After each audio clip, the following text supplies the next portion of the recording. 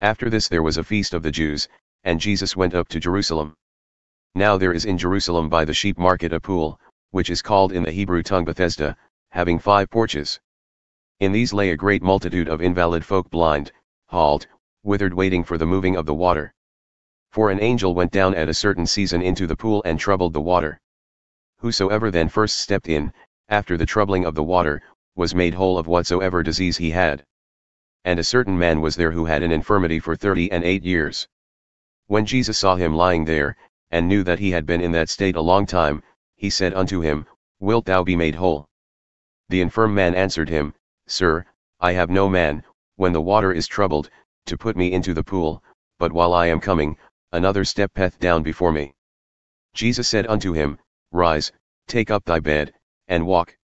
And immediately the man was made whole, and took up his bed and walked. Now it was the Sabbath on that day. The Jews therefore said unto him that was cured, It is the Sabbath day, it is not lawful for thee to carry thy bed. He answered them, He that made me whole said unto me, Take up thy bed and walk. Then they asked him, What man is that who said unto thee, Take up thy bed and walk? And he that was healed knew not who it was, for Jesus had removed himself away, a multitude being in that place. Afterward Jesus found him in the temple and said unto him, Behold, thou art made whole. Sin no more, lest a worse thing come unto thee. The man departed, and told the Jews that it was Jesus who had made him whole. And therefore did the Jews persecute Jesus and sought to slay him, because he had done these things on the Sabbath day. But Jesus answered them, My Father worketh hitherto, and I work. Therefore the Jews sought the more to kill him, because he not only had broken the Sabbath, but said also that God was his Father, making himself equal with God. Then answered Jesus and said unto them, Verily, verily I say unto you, the Son can do nothing of himself, but what he seeth the Father do, for what things soever he doth, these also doth the Son likewise.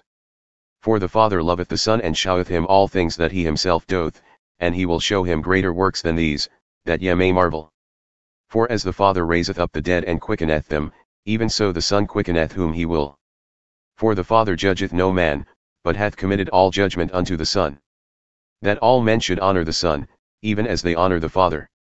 He that honoreth not the Son honoreth not the Father who hath sent him. Verily, verily I say unto you, he that heareth my word and believeth in him that sent me, hath everlasting life and shall not come into condemnation, but is passed from death unto life. Verily, verily I say unto you, the hour is coming and now is, when the dead shall hear the voice of the Son of God, and they that hear shall live. For as the Father hath life in himself, so hath he given to the Son to have life in himself. And hath given him authority to execute judgment also, because he is the Son of Man. Marvel not at this, for the hour is coming in which all that are in the graves shall hear his voice. And shall come forth they that have done good, unto the resurrection of life, and they that have done evil, unto the resurrection of damnation. I can of mine own self do nothing. As I hear, I judge, and my judgment is just, because I seek not mine own will, but the will of the Father who hath sent me. If I bear witness of myself, my witness is not true. There is another that beareth witness of me, and I know that the witness which he witnesseth of me is true. Ye sent unto John, and he bore witness unto the truth. But I receive not testimony from man, but these things I say, that ye might be saved. He was a burning and a shining light, and yet were willing for a season to rejoice in his light. But I have greater witness than that of John, for the works which the Father hath given me to finish, the same works that I do, bear witness of me that the Father hath sent me.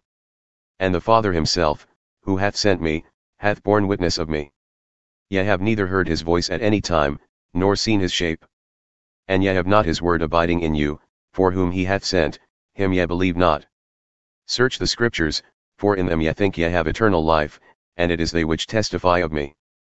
And ye will not come to me, that ye might have life. I receive not honor from men. But I know you, that ye have not the love of God in you. I have come in my Father's name, and ye receive me not, if another shall come in his own name, him ye will receive. How can ye believe, who receive honor one from another, and seek not the honor that cometh from God only?